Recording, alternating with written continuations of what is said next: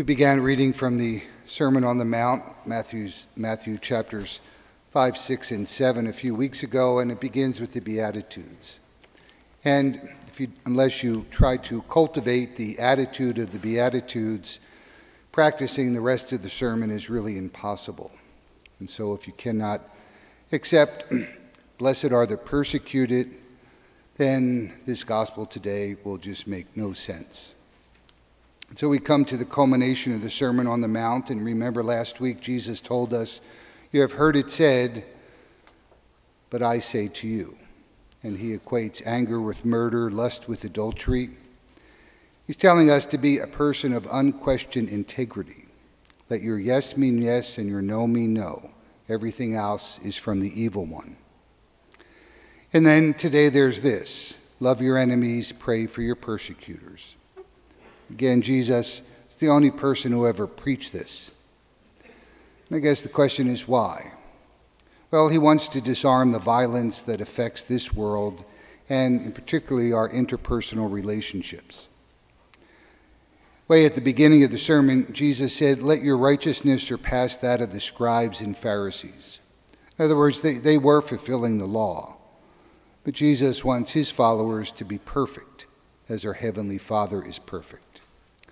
So, if you want to be a follower of Jesus, you want to claim the name Christian, well, this is part of it. Jesus wants us to go beyond an eye for an eye and a tooth for a tooth. As the saying goes, what goes around comes around. At some point, those who are powerless will be in a position of power. And so, what will you do when you finally have power over your enemy? How will you act? What will you do when your enemy is in your grasp? Will it be an eye for an eye or something even worse? Or will it be to act as your Father in heaven does? And we can't be abstract here. We shouldn't think about the enemy as someone out there. It's the North Koreans, it's the Russians, it's Al Qaeda, it's whoever. No, think of someone who has harmed you personally someone who has taken life from you, someone who, whose behavior has, has left a scar in your life.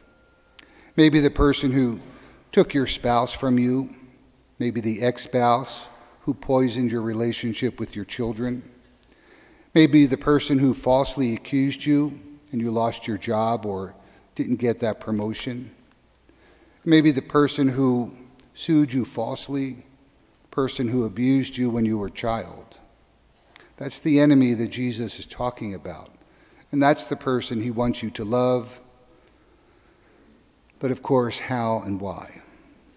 Well, I think it's helpful if we look at another biblical example of someone who had his enemies in his grasp and how he acted and what he did. It's one of my favorite stories of the Bible. It's the story of Joseph, Joseph the patriarch. And you remember, God had promised Abraham that he would make of him a great nation and things went slowly at first. He finally has his son Isaac. Isaac has his son Jacob. Jacob has his 12 sons. And finally, the nation is starting to take shape. And Jacob's 11th and 12th sons were Joseph and Benjamin. And they were born of his favorite wife, Rachel. He had two wives and he had several concubines. And Rachel died in childbirth with Benjamin. So Jacob doted on Joseph and he favored him, which caused a lot of resentment among his siblings. And here's a really good lesson, especially for men do not have a favorite wife because it will cause lots of family dysfunction. Love them all the same, guys. Now you're familiar with the story. One day, Jacob talks, tells Joseph, who is 17 years old, to go check on his brothers who were tending the flock. And I'm sure Joseph didn't want to do that because his brothers were always forever mocking him, picking on him. But he goes, and his brothers see him coming. And they say, Oh, here he comes. We're sick and tired of him. So let's kill him and be done with it. So Jesus really was correct. Anger can lead to murder, and often does.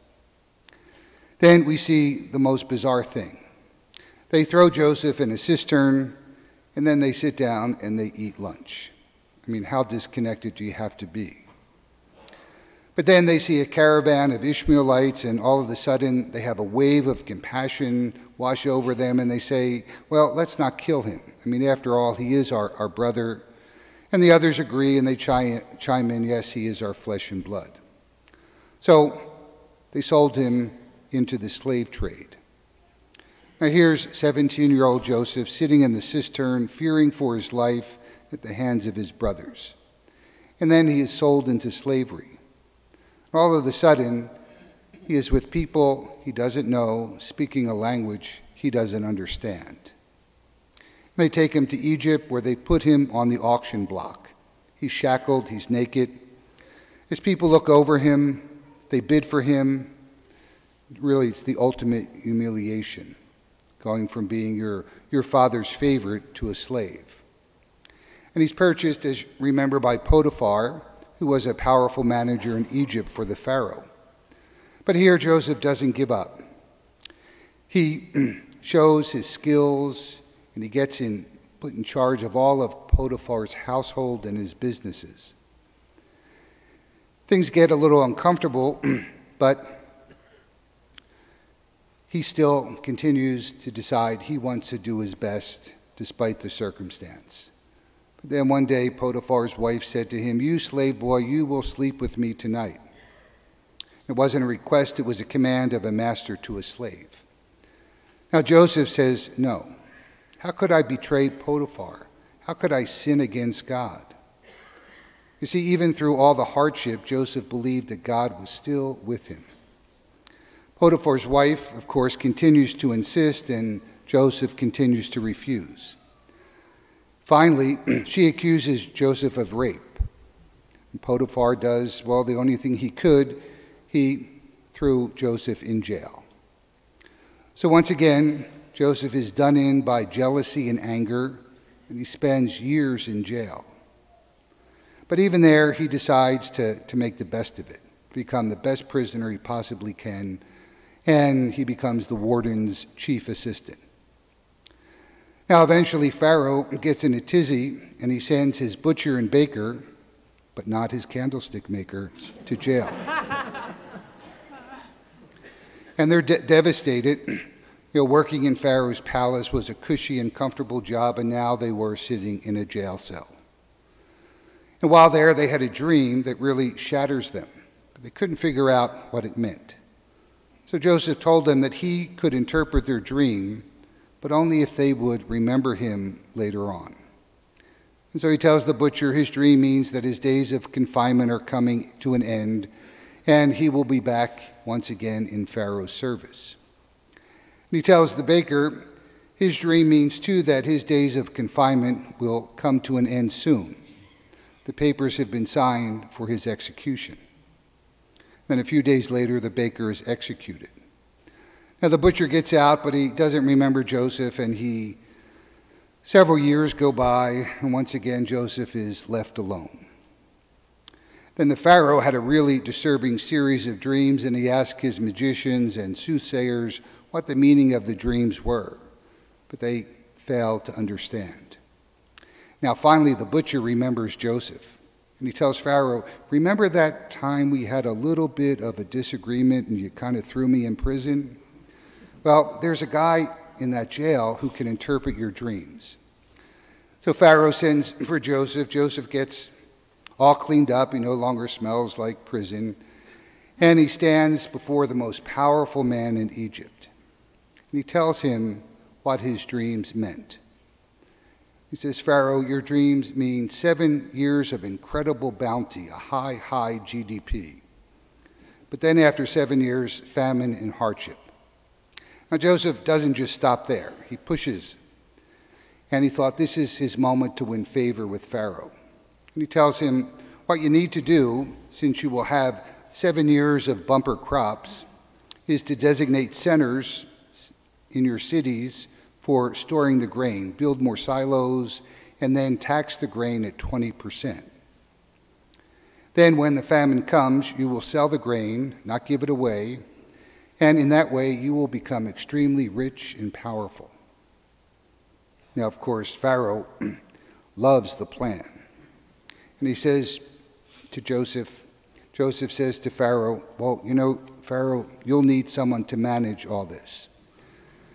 So, yeah, Pharaoh appoints Joseph, who will be put in charge of all the grain, enriching Pharaoh, and having, of course, power over the entire nation. And the famine eventually did come, and it spread way beyond Egypt to the land where Joseph's family lived. And so Jacob, Joseph's father, says to his sons, We're starving here, and I've heard there is plenty of grain in Egypt. Go down there and get some food. So off they go, and they come hat in hand, and unbeknownst to them, they have to ask Joseph, their brother, the brother they sold into slavery, for help. Now, they don't know it's Joseph. And you know why they don't recognize Joseph? This is a really bad joke because he walked like an Egyptian.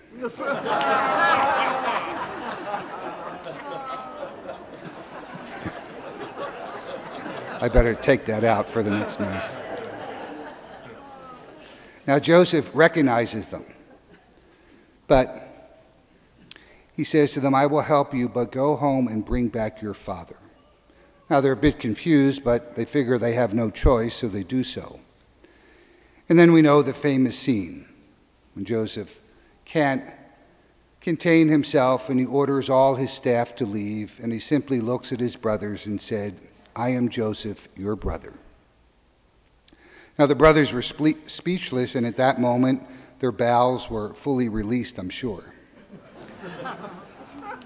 and here's the moment that really makes our point Joseph had his enemies in his grasp, and they knew it. They were probably thinking they would be executed in the next few minutes. But at that moment, Joseph remembered all they did to him, all they took from him, all the injustices he suffered since.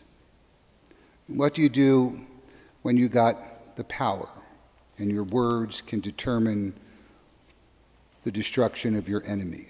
What happens when you go, what goes around finally does come around? What happens when you have the power to determine the destiny of your enemy? The answer to that question really depends on what you did with your bitterness, with your anger. And if you're still dragging it around when this happens, you will be like the people who you don't like. And so Joseph's brothers are terrified in his presence, and they were sure that he would do to them what they did to him. But they need not fear because Joseph had lived as if God were, was with him during his absence, and he kept his bitterness at bay. And here's what's really amazing, and Joseph couldn't have known it back when it all started to unravel that God's plan for the ages would hang on his very word. The plan that God had given to Abraham to make of him a great nation, and from that nation, God would introduce the Savior of the world, and through whom God would do for the world exactly what Joseph did for his brothers forgive them. Because he didn't carry around a bag of bitterness and a sack of anger, even though he had every reason in the world to do so. And so Joseph asked the question when his brothers begged for mercy, and it's a question you will have to answer at some point in your life. Joseph asked, Am I in the place of God? Am I in the place of God? You will never experience the good that comes from the bad unless you realize God was with you during the bad. And refuse to play God when things come around. And so Joseph's brothers, Joseph tells his brothers, You intended to harm me. But God was still, God had intended things for good to accomplish the saving of many lives. And here's the thing one day you may have power of the person who harmed you, who abused you, who stole your childhood, who took away your children. When it comes around, you will remember what they did to you. And in that moment, Jesus invites you to remember who was with you. And in that moment, you will have a decision to make.